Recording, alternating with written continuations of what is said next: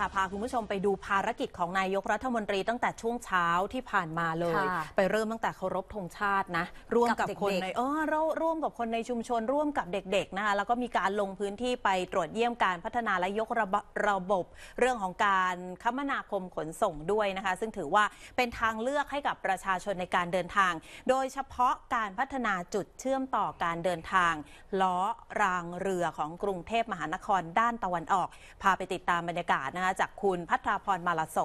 รายงานสดจากมัสยิดมารุตสอิสลามนะคะ ซึ่งตอนนี้พร้อมอยู่แล้วค่ะ เชิญค่ะคุณพัทราพรท่านนายกค่ะรัฐมนตรีจะลงพื้นที่เพื่อดูการพัฒนาจุดเชื่อมต่อ ระบบขนส่งสาธารณะแล้วนะคะ ยังเป็นการลงพื้นที่เพื่อพบปะกับประชาชน และรับฟังปัญหาเพื่อนำไปสู่การแก้ไขต่อไป แต่ก่อนอื่นค่ะ เราจะพาคุณผู้ชมไปติดตามภารกิจของท่านนายกรัฐมนตรีตั้งแต่ช่วงเช้ากันก่อนค่ะ โดยจุดแรกที่พลเอกประยุทธ์จันโอชานายกรัฐมนตรีลงพื้นที่ คือโรงเรียนวัดศรีบุญเรืองเขตบางกะปิ โดยได้ร่วมยืนเข้าแถวเคารพธงชาติกับนักเรียน ผู้ปกครองและประชาชนในชุมชน ณบริเวณลานอเนกประสงค์ พร้อมนั่งชมการแสดงโขนเรื่องรามเกียรติ์ตอนยกรบ ของนักเรียนโรงเรียนวัดศรีบุญเรือง และได้มอบหมวกกันน็อกให้แก่ตัวแทนนักเรียนจำนวน 4 คน เพื่อส่งเสริมวินัยการจราจรและความปลอดภัยบนท้องถนน ให้แก่นักเรียนและผู้ปกครอง ในโอกาสนี้ค่ะท่านนายกรัฐมนตรีก็ได้พูดคุยกับผู้ปกครองและประชาชนว่า วันนี้มารับฟังปัญหาจากประชาชน เพื่อนำไปแก้ไขไม่ได้หวังผลอะไร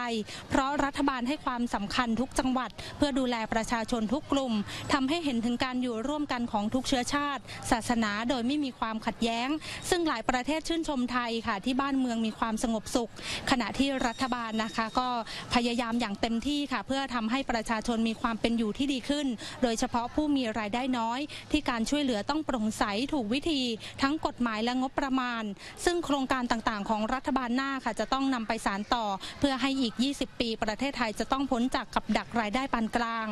ทั้งนี้ค่ะส่วนตัวรับฟังปัญหาทั้งหมดที่มีการร้องเรียนผ่านศูนย์ดำรงธรรม และช่องทางอื่น ๆ เพื่อเร่งแก้ไขปัญหา โดยเฉพาะหนี้นอกระบบและจะทำให้มากขึ้น ตราบที่มียังตราบที่มีโอกาสอยู่นะคะและอย่าเชื่อค่ะ หากใครบอกว่าจะทำสิ่งต่างๆ ให้ทั้งหมด เพราะไม่สามารถทำได้จริง เพราะบางอย่างต้องมีการแก้กฎหมาย แต่ที่ส่วนตัวทำได้คนอื่นทำไม่ได้ เพราะตนเองมีวิธีการและกฎหมายที่สามารถปลดล็อกได้ ซึ่งวันข้างหน้าคงไม่มีแล้ว เดี๋ยวเราไปฟังเสียงบางช่วงบางตอนของท่านนายกรัฐมนตรีกันค่ะทำออกมาแต่ถ้าประชาชนไม่แก้ไขไม่ปรับปรุงร่วมกันไปเลยไม่มีทางสำเร็จแล้วต้องเข้าใจซึ่งกันและกันนะ อะไรไหมทุกเรื่องอะไม่ว่าจะเศรษฐกิจไม่ว่าจะการขายไม่ว่าจะมันพันกันทั้งหมดอะไม่ใช่รัฐบาลแก้ปัญหาเศรษฐกิจไม่ได้แค่นั้นเราได้แก้ตัวเราเองบ้างหรือยังรู้ไหมว่าเขามีอะไรตรงไหนใหม่มาใหม่ ไม่รู้เลยนั่งขายของอยู่เหมือนเดิมแล้วบอกว่าขายไม่ได้จะไปไหน มน ตรีได้สักการะพระประธาน พระพุทธศรีสุโขทัยและนมัสการพระครูสุนทรวีระวงศ์เจ้าอาวาสวัดศรีบุญเรือง ก่อนลงเรือที่ท่าเรือวัดศรีบุญเรืองไปยังท่าเรือศูนย์การค้าเดอะพาซิโอ เพื่อติดตามความก้าวหน้าการพัฒนาคลองแสนแสบ เรื่องส่วนต่อขยายทางน้ำและมลพิษทางน้ำพร้อมรับฟังบรรยายสรุป ซึ่งกรุงเทพมหานครค่ะเตรียมเพิ่มเส้นทางทางเรือ ฝั่งตะวันออกของกรุงเทพมหานคร ผ่านคลองแสนแสบ ระยะทางรวมประมาณ 10 กิโลเมตรค่ะ โดยจะให้บริการใน 2 ระยะ คือระยะแรกช่วง วัดศรีบุญเรืองถึงท่าเรือศูนย์การค้าพาซิโอ ที่มีกำหนดเปิดให้บริการในเดือนมกราคมปีหน้า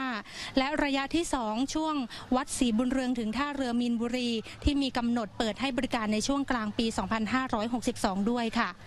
โดยนายกรัฐมนตรีได้ตรวจเยี่ยม รถปรับอากาศประประจำทางรุ่นใหม่ที่มีบริการหลังจากขึ้นเรือด้วย เพื่อให้เกิดการเชื่อมต่อการเดินทาง ระหว่างท่าเรือและรถโดยสารประจำทาง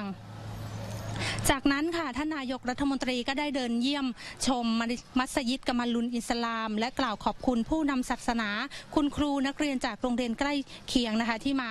ต้อนรับนายกรัฐมนตรี หลังจากนั้นค่ะก็ได้ร่วมชมการแสดงกลองรำมนาของชุมชนอาบูพัฒนา และชมโครงการไทยนิยมยั่งยืน สินค้าเกษตรของดีของชุมชนต่างๆ ในเขตในเขตคลองสามวา